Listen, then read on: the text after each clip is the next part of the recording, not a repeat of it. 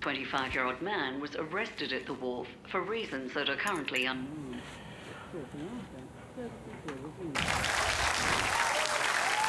It is that time of year. Football season is in full swing. So let's talk footy with it. Dad.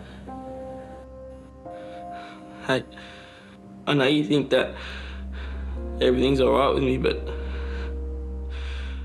it's, it's not. Things are getting on top of me, and I can't handle it. I'm, you don't understand what I'm going through, Dad. I don't know what to do. I can't even be myself anymore. I need your help.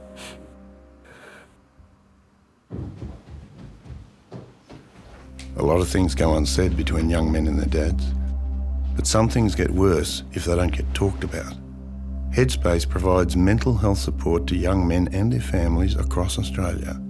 And maybe knowing we're here to help might make it easier to start a conversation.